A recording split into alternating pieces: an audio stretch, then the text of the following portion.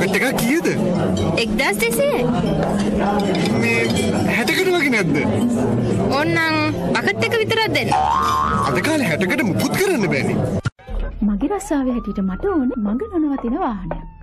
මං මෙතෙන්ට මාවේ වගකීමයි විශ්වාසය නිසා දීසින් ඉන්ශුවරන්ස් රෙජිස්ට්‍රේෂන් හැම දේමක්ම කර. ඉන්ද්‍රා ට්‍රේඩර්ස් හොඳම තැනින් හොඳම වාහන. ගෙදරටම ගෙනත් දෙනවා කියවනත් දෙනවා මුල් පිටුව තව සුළු මොහොතකින් දැන් අපි අලුතෙන් පටන් ගමු. ලස්සනයි ගොඩක් වෙලාවට. ඒ නිසා අපි නෝස් කට් එක අඳින්න ඕනේ. ඒක ගොඩාක් වෙලාවට ඉතාමතර තදට නැතුව ලයින් එක වගේ පේනවා. ඒ වගේ ඇත්තටම කැතයි. ඒ විදිහට අපිට පුළුවන් බ්ලෂර් එකෙන්ම ලයින් එක දෙපැත්තම ඉව කළා මෙතෙන්ට අපිට පුළුවන් ඕනනම් මේ පොයින්ට් වෙලා පේන්න නම් ගෝල් වර්ණය වගේ එකක් ෂේඩ් කරලා පෙන්වන්න. හොඳයි. මේ විදිහට කළා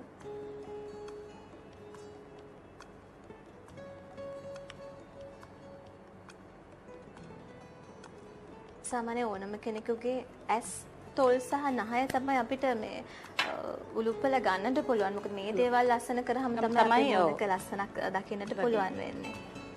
මොකද මේ මේකප් එකකින් කෙනෙකුගේ හැඩය සම්පූර්ණ වෙනස් කරන්න පුළුවන්. හොඳයි. අපි මෙන්න මේ විදිහට තමයි අද දවසේදී අපි මේ පැහැදිලි ආකාරයට පියවරෙන් පියවර කොයි විදිහටද මේකප් එකක් කරන්න කියන කාරණේ ගැන පැහැදිලි කරලා දුන්නේ.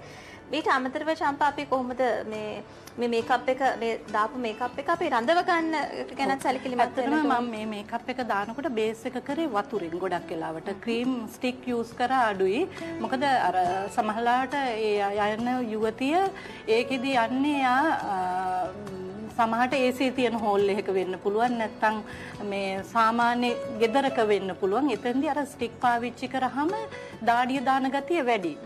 ඉතින් ඇත්තටම වතුරෙන් බේස් එක දැම්මහම දාඩිය මතු වෙන ගතිය අඩුයි. අඩුයි. ඒ වෙලාවේදී අපිට පුළුවන් ඊට අමතරව පවුඩර් කරලා ඒ මේකප් එක දිගටම රඳා පවතින විදිහට තියාගන්න.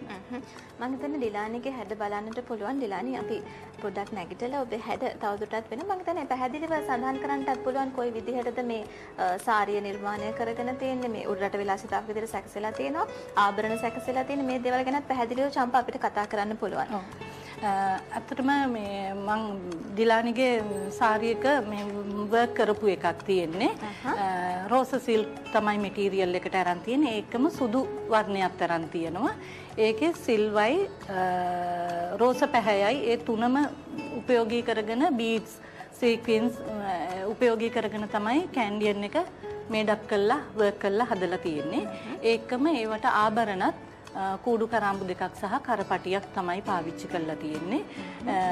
මොකද අපි ගොඩක් වෙලාවට හැම වෙලේම හිතන්න ඕනේ මේ ඇඳුමට ගොඩාක්ම චාම් වෙන විදිහට ආභරණ තේරීමේදීත් ඒක ඉතාමත් ලස්සනයි. මොකද ඔසරියක් ඇඳ කෙනෙකුට කූඩු කරාම්බු දෙකක් කරපටියක් ආවහම ගොඩක් හොඳයි. ඒ සාමාන්‍ය නිසා- අපි දැන් සාම්ප්‍රදායික බව රැක ගන්නට රැකගන්න එක ඇත්තටම ගොඩාක් වෙලාවට වටිනවා.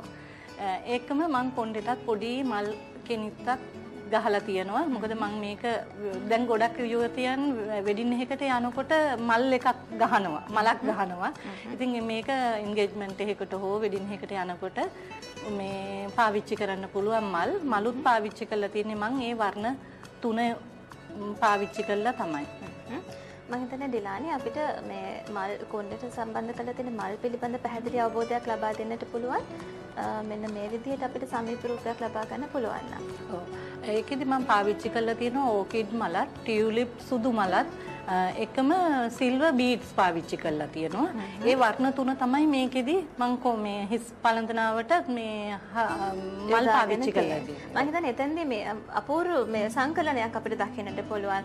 කොණ්ඩ පළඳ කොණ්ඩට අපි අලංකරණය කරන සම්බ- සම්බන්ධයෙන් පාවිච්චි කරලා තියෙන මේ කොණ්ඩවට සකස් කරපු මල් ඒ වගේම ආභරණ මේ සියලු දේ මේ මේකප් එක මේ සියලු දේ අතර යම් සබැඳියාවක් තියෙනට ඕනේ නේද චම්පා? නැත්නම් අපි සමහරට ඇඳුම එක විදිහක් අපේ මේකප් එක තව විදිහක් අපි පාවිච්චි කරලා තියෙන ආභරණ තවත් විදිහක්.